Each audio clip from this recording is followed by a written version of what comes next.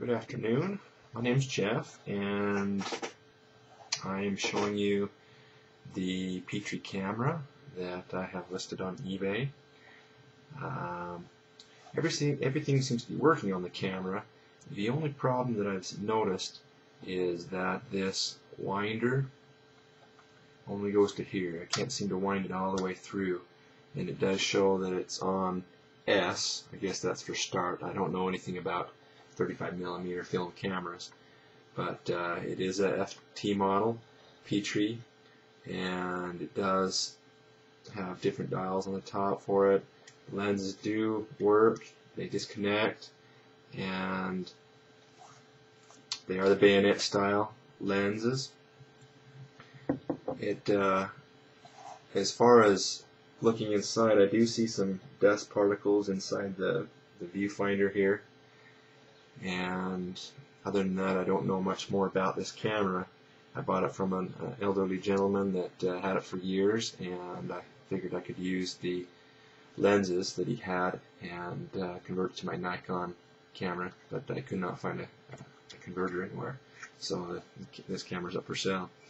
So along with this camera comes with uh, put this back on here simply goes on there and and like I say the the uh, focus seems to be working fine.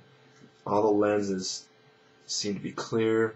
No cracks in the glass at all that I can I can see look good.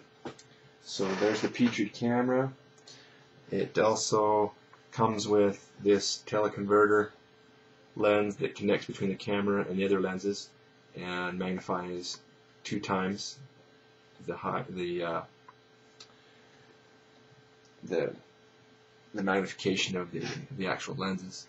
And then we have this 135 millimeter camera, or excuse me, this uh, lens, and it seems to be working properly. Looking through it when I connected to the camera, seems clear, no cracks or um, any other foreign objects inside the lens itself. Each lens does come with its own case, so they are protected that way. And then the last lens is the big boy. It is a, a 400 millimeter Petri lens.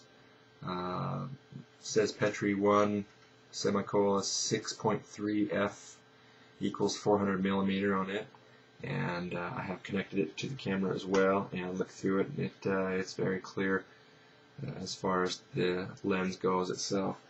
And this lens also comes with its own hard carrying case that slips right in here. So uh, if you have any questions, please feel free to, to email me um, through eBay, and I'll try to answer the questions as best as I can. Uh, have fun. Thank you.